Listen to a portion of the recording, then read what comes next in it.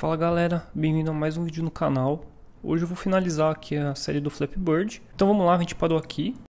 Nosso passarinho ele faz a rotação, ele pula e assim que ele morre, a gente exibiu o botão de restart, game over e tudo certo. A gente também fez os pipes. E agora o que a gente precisa fazer é chamar esses pipes aqui por código, tá? Vamos fazer isso por script. Então vamos começar agora. Eu vou criar uma função chamada pipes generator. Essa função pipe vai ser responsável por gerar o nosso nó por código, tá? Como se a gente fosse adicionar ele aqui uh, várias vezes no momento que a gente quiser. Para isso, também vamos precisar do auxílio de um timer, tá? A cada dois segundos a gente vai disparar essa pipe generator. Mas por partes, vamos primeiro implementar ela. Eu vou copiar e colar aqui o código inteiro uh, e vou explicar rapidinho. Vou criar aqui uma variável pipe, uh, que é esse nó aqui, tá? Esse aqui.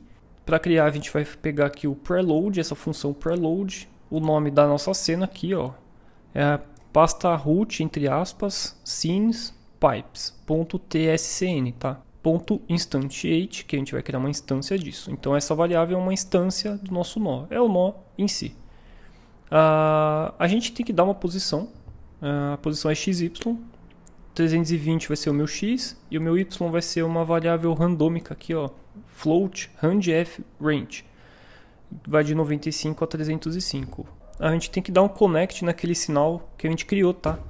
Esse sinal aqui, score up, a gente vai conectar ele por código. A gente não vai conectar ele uh, do jeito que a gente estava fazendo, que é achar o nó aqui, clicar duas vezes no, no sinal que a gente criou, porque a gente adicionou por código, ele não vai estar tá aqui, né? E aí o jeito de fazer isso é aqui, ó, connect score up e o primeiro argumento é isso aqui, entre aspas, o nome do sinal, exatamente esse nome aqui. E o segundo argumento vai ser um segundo método que a gente vai criar agora. Tem que estar aqui dentro do script para ele achar. Então vamos fazer o seguinte: copia e cola isso aqui, ó, e abre parênteses, dois pontos, e eu vou criar uma função score up. Conectamos o sinal aqui no score up que é exatamente a gente pegar um sinal tipo do passarinho aqui, clicar duas vezes e vai aparecer aqui automaticamente, tá? É a mesma coisa por código.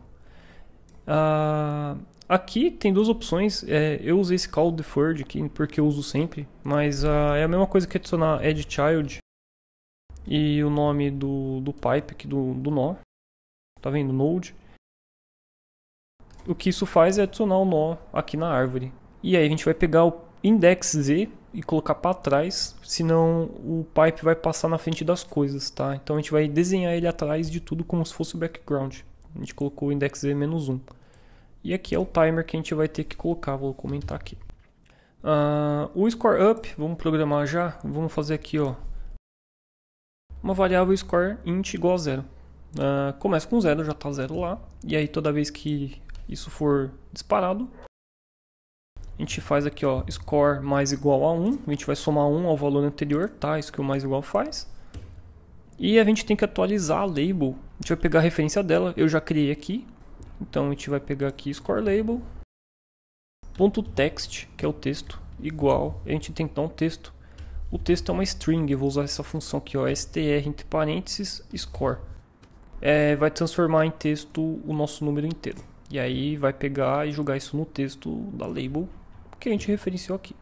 O que mais? A gente precisa do timer, então eu venho aqui na main, add child e timer.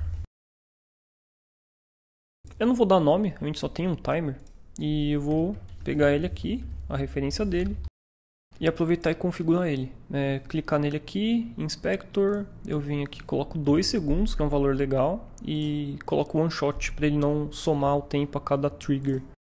Aqui eu já vou descomentar essa linha. Então a gente já fez aqui Pipes Generator e Score Up. A gente pode ver já funcionando esse Pipes Generator. Se a gente vier aqui depois do Start Game e mandar um Pipes Generator.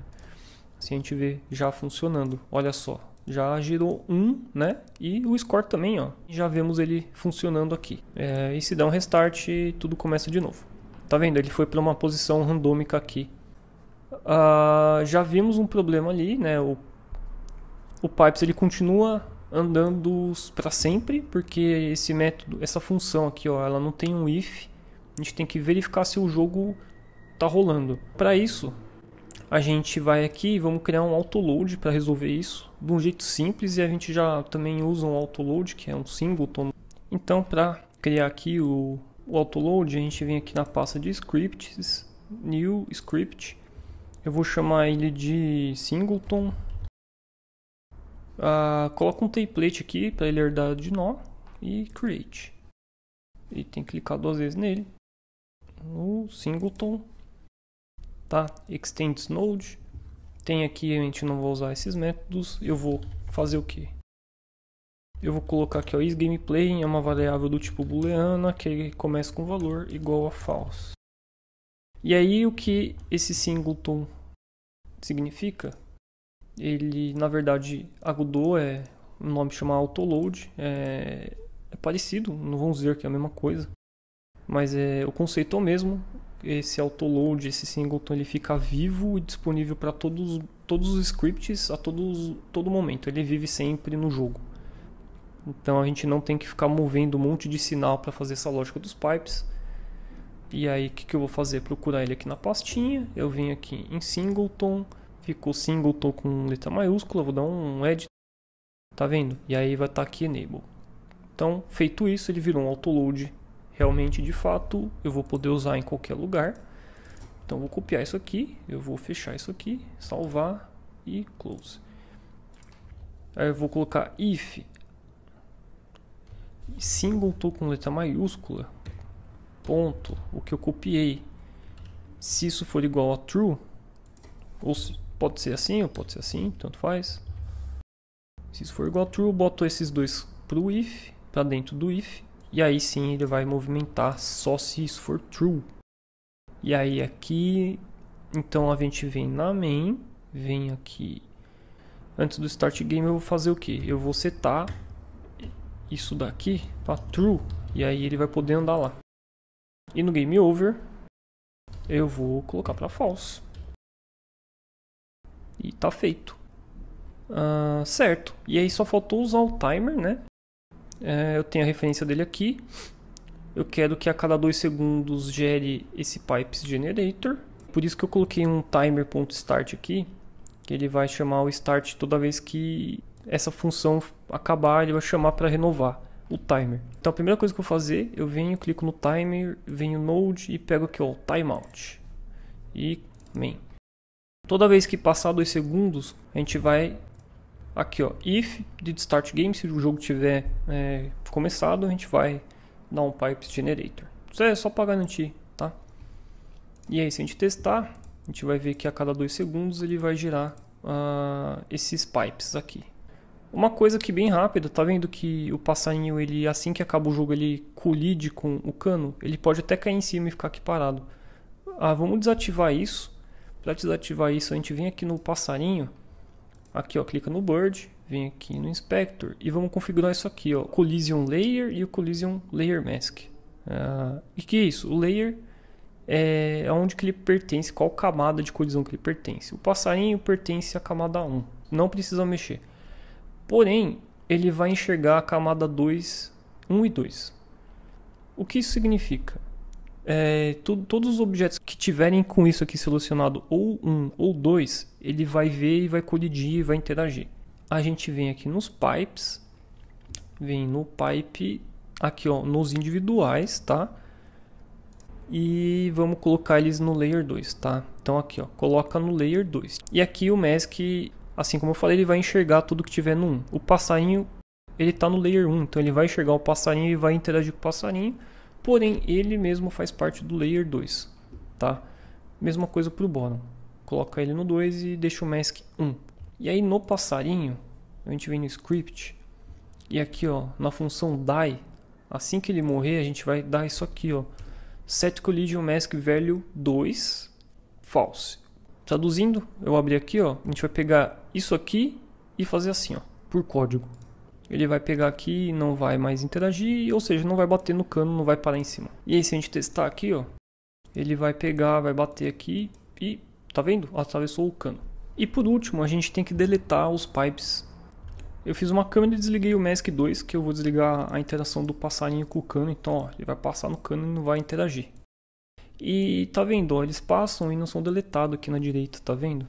Então, ó, vamos adicionar um child node e uma área 2D. Tá? Aí eu vou chamar de pipes cleaner. E aí eu vou adicionar, lógico, aqui uma collision shape.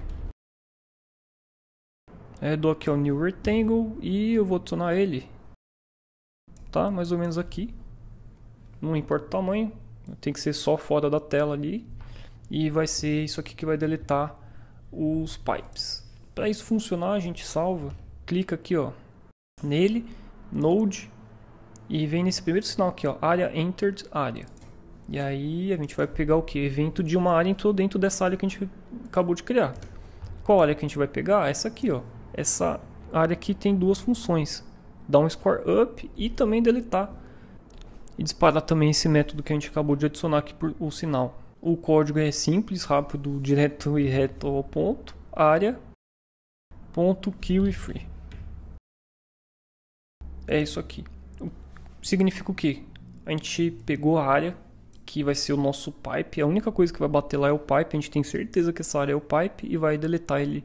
Vai dar um kill free, vai tirar da memória, vai apagar tudo. E aí, ó, tá vendo? Ele bate ali e de deleta. Então esse foi o resultado final. Ah, Para corrigir então é, a última modificação é isso daqui, ó. If no timeout, if singleton is gameplay, aí a gente dá um pipe generator. E é isso, eu espero que vocês tenham gostado. Ah, deixa aquele comentário. Se você conseguiu terminar o jogo aqui, comenta aí, eu terminei, deu tudo certo. Se você tem dúvida ou algum bug aí que surgiu, manda um comentário que eu posso ajudar. Deixa aquele like, se inscreve no canal. É, vou começar a fazer mais vídeos agora que eu tenho meu setup pronto. E até a próxima.